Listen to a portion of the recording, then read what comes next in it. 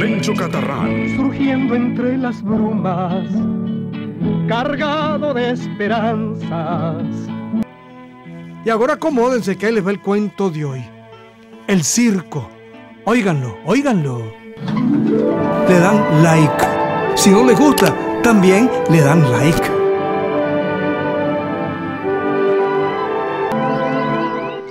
En las primeras horas de la mañana, amigo, allá en el Ojochal, un alto parlante recorría todo el pueblo anunciando la llegada de un circo. Y claro, el circo, ¿dónde se iba a instalar? ¿Ah? Pues en la Plaza del Burro, en la Plaza del Burro. ¡Atención, atención! Llegó al Ojochal el circo Bim Bam Boom, así de bonito. Venga al circo hoy en su debut. Hoy aquí en la plaza donde va a estar lo mejor en animales amaestrados, trapecistas y payasos. No se lo pierda. Así de bonito. Estaremos regalando números premiados para la rifa de una cámara de cajón de tres patas. Así de bonita. Entrada general, tres pesitos nada más. Así de bonita. Vengan, vengan, que el circo va a estar muy, muy, muy divertido. El animal, chicos, Sónica, tres patas bailando.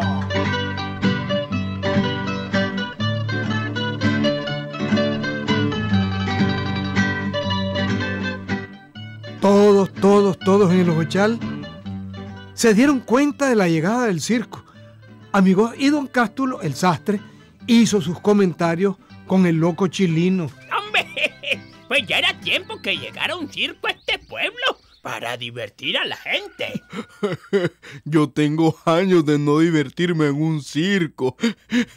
Voy a ver cómo hago para recoger para la entrada. ¿Y qué vas a recoger si solo son tres pesitos? No me Sí, sí, sí, sí, pero yo no los tengo. ¿Y por qué usted no me los regala? ah? No me los regala. O, o, o, me ocupa para hacer mandados y así se los pago, ¿ah? Hombre, pues no, Está bueno. no tan loco porque tenés buena idea. Está bien, pues. Chilino, pues me barres el patio y te voy a pagar tres pesos. Gracias, gracias, don Cástulo. Se lo voy a agradecer mucho. No me hagas caso, solo, barré el patio.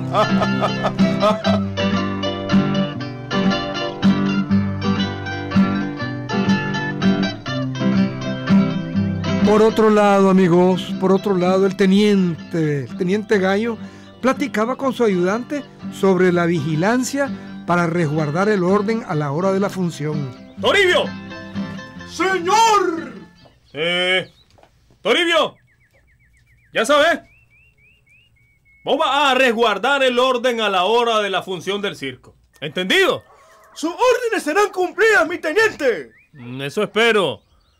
Recordad que los dueños del circo dieron un dinerito para que se les cumpla al pie de la letra. ¡Así será, mi teniente! ¡Pierda cuidado! Bueno. Y anda a tenderte esa garganta que se te están yendo los gallos. señor!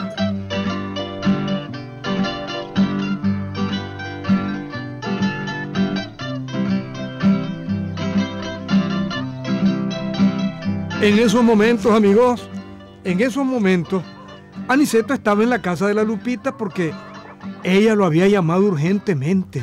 Aniceto, Sí, Lupita. es que fíjate que te mandé a llamar Eh, eh, ¿Para qué, Lupita? para decirte que yo ya no te puedo estar esperando para casamentarme con vos. ¿Qué, co- co- co- ¿Cómo? ¿Cómo? ¿Qué? ¿Qué? ¿Qué? qué, qué? Eso mismito que escuchaste. Pero, pero- Y que ya es mucho tiempo, esa es la verdad.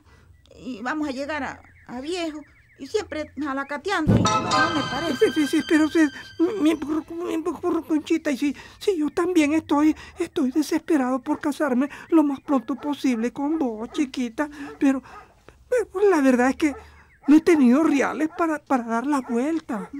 Bueno, pero, pero es que el tiempo pasa, pasa, pasa y nada, pues. Solo en, en intentos te has ido. Pe- pe- pe- Pero, Lupita, pero, pero vos sabés bien, vos sabés bien que, que no ha sido por mala voluntad mía. Mm. ¿Mm? ¿Y qué querés que haga yo, pues? Que siga, espere, que espere, que espere, espere y aguarde, como dice Carruchín, para ver si llega la suerte, pues. No, hombre, Eso ya se acabó. Pero Lupita... No, no, no, pues. O te casamientas conmigo lo más pronto posible o te doy la quiebra. Pero Lupita, Lupita. ¿Qué? Me estás dejando con las tapas abiertas. Cerrátela, pues. Te veo y no te creo de todo lo que me has dicho. ¿Ah? Pero- Mira, yo, yo, yo, yo, Aniceto, no estoy jugando, vos. No estoy jugando. Te lo estoy diciendo muy en serio. Mira, Lupita, Lupita, mi cascarita de frijol, mira. Te Es la que andas ahí en el diente, no fregué. Yo te prometo casamientarme con vos dentro de una semana. De- de- de- dentro de una semana dijiste. Sí, mi muchachita, sí, mi currucuchita. De- sí. de- cierto, te- pues. sí, te lo aseguro. O me dejo de llamar a Niceto Prieto, Eh, ¿viste? eh, Entonces, entonces así, sí, sí, pues así, así ya cambia, cambia la cosa.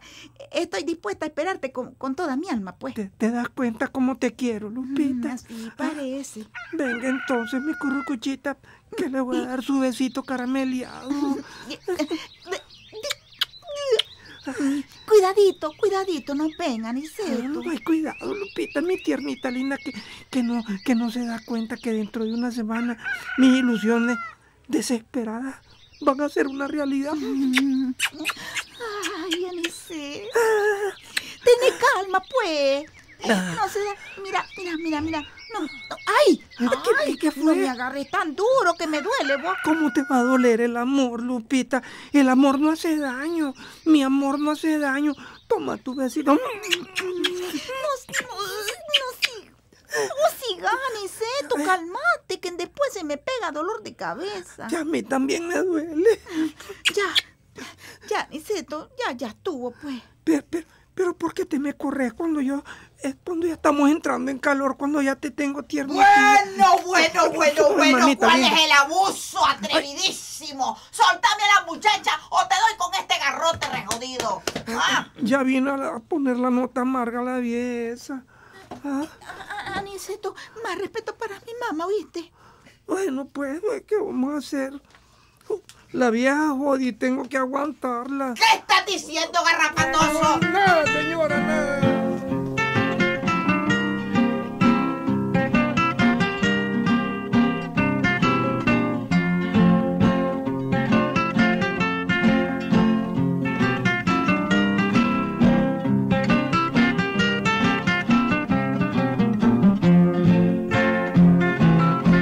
Aniceto, amigos, estaba en un aprieto, no había duda. Tenía que casarse dentro de una semana y no tenía ni reales ni tenía trabajo. Se dio cuenta que había llegado un circo al pueblo y se fue al circo a buscar trabajo. Eh, oiga, señor, señor, señor, señor Cisense, mire, yo, yo le voy a decir una cosa. Este, eh, yo quisiera que me dé trabajo en este circo. Yo le hago a todo. Bueno, por el... Eh, perdón, pensé que andaba en la barata todavía. bueno, por el momento todo el personal está completo, señor. Tal vez en otra oportunidad. Pe- pe- Pero mire, señor, señorcito, sin se lo ruego, señorcito, mire, mire, mire, don, cirquero, mire, mire.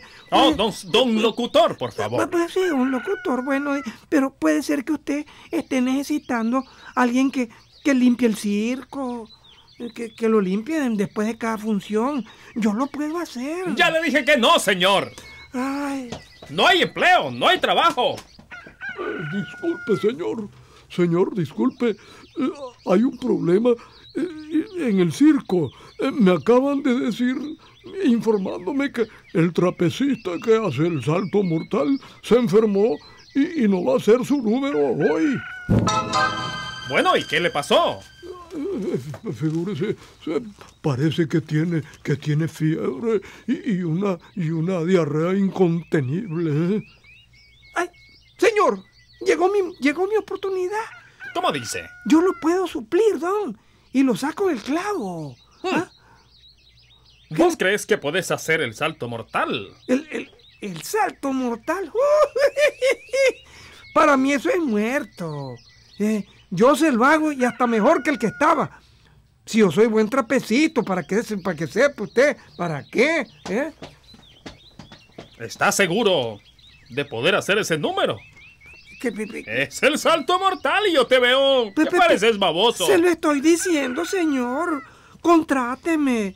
Contráteme y va a ver. A lo mejor me quedo trabajando de fijo aquí en el circo cuando se vuelva a enfermar el trapecito que andan ahí. Yo lo voy a reponer. Bueno, está bien. Quedas contratado para hacer el salto. ¡Soltame! ¡Soltame, hombre! Me estás ensuciando mi traje. Gracias, señor. Sé silencio. Sí, Quedas contratado para hacer el salto mortal. sí, sí, sí, señor. Así es que te puedes quedar. Pues aquí ya, ya puedes quedarte para que te vayas preparando, conociendo el terreno y te echas desodorante, cochino. Señorcito, señorcito, señorcito, usted solamente ordene y nada más, porque del resto me encargo yo. Ah, Oye, Oíme una cosa. sí, sí, Sos sí. familiar de Chico Zúñiga. Ni quiera Te Dios, das un señor. aire con él, pero No, bueno, no, no. estás contratado. Gracias, Maravilloso, señor, fenomenal. gracias, señor. señor, gracias, gracias, gracias.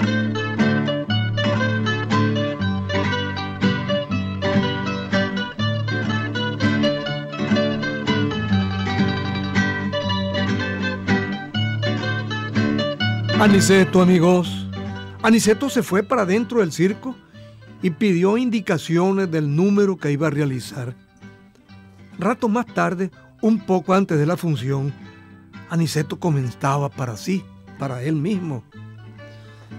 Ay, mamita linda, yo, yo, yo pues que yo nunca he andado en esta babosa, pero ha de ser fácil. Solamente hay que tirarse de un garrote a otro. Además, para el salto mortal uno se amarra de la cintura para quedar guindado ahí casi a ras del suelo y no, no le pasa nada a uno. No, no, no, ¿para qué? Ese salto mortal tengo que hacerlo más mejor que el otro para que me puedan pagar bien y con esos realitos me voy a casamientar con mi Lupita. Mm, Solo el amor de ella me hace que pase estos apuros. Ay, porque si no la pierdo. qué, qué alegre que ya me voy a casar con la Lupita.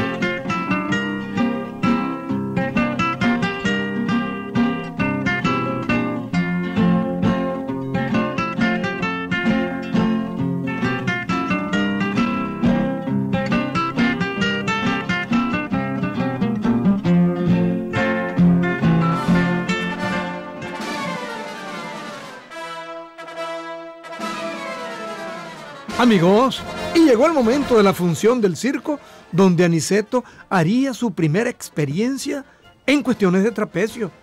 Y cuando fue anunciado, el público lo aplaudió mucho porque les cayó a todos como una sorpresa ver a Aniceto sin camisa encajado en la plataforma del trapecista del salto mortal. La Lupita, sin saber la presentación de su novio, también había llegado a la función, lo mismo que Cheyo y Carluchín. Señoras y señores, vamos a presenciar así de bonita el salto mortal. Pero esta vez lo hará nada más y nada menos que el personaje conocido de este pueblo, Aniceto Prieto. ¡Ese aplauso! ¡Así de bonita!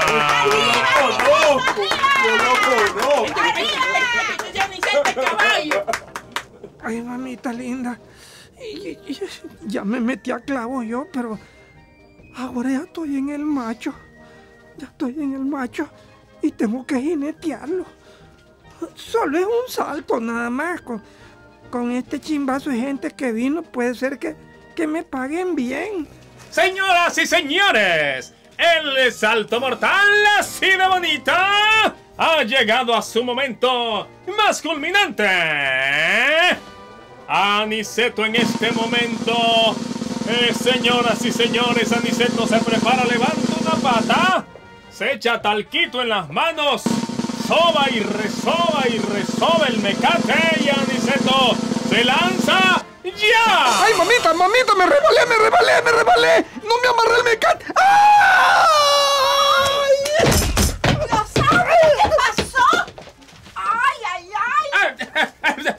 Señoras y señores, ha sido un salto mortal.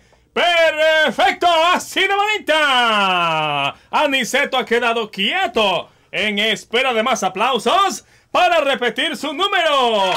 El salto mortal, si quieren que, se, repita. Que se repita. Aplausos así de Que se bonita. repita. Que se repita. Que, que se repita. ¡Otra! ¡Otra! ¡Otra! ¡Que lo repitas! ¡La madre que lo parió! ¿No ven que me descolgué sin el mecate? ¡Me quebré una pata! ¡Ay, mamita linda, linda! ¡Me muero! ¡Vengan a socorrerme! Señoras y señores, Aniceto, además de buen trapecista, es bien chistoso y así de bonita. Y con sus gritos le está poniendo más realce a su número. ¡Vengan esos aplausos! ¿Quién quiere que se repita el salto mortal? ¡Que se repita! ¡Que se repita!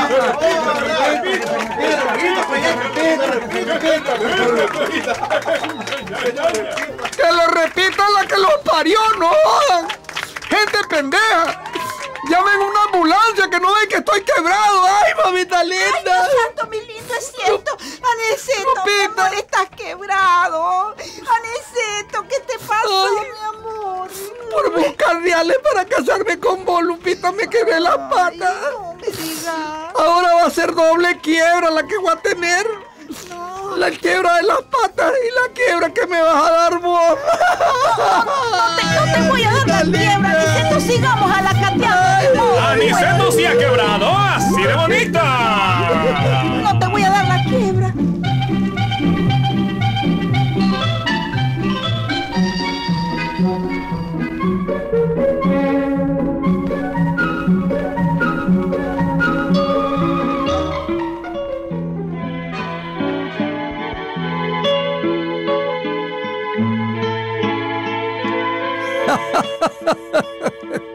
Ay, ya ven lo que les pasó al pobre Aniceto.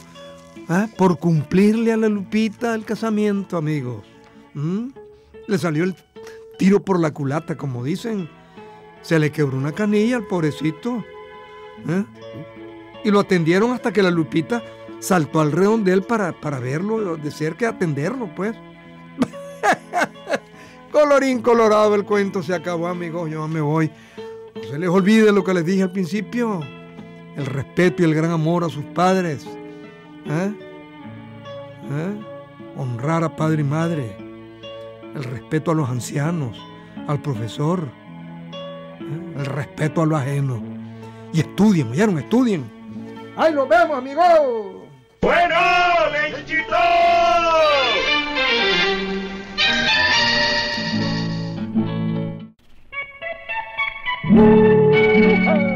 Hola amigos, soy Otto de la Rocha y quiero invitarlos a que me sigan y a que escuchen mis canciones en mi canal de YouTube y Spotify. Si les gusta, le dan like. Si no les gusta, también le dan like.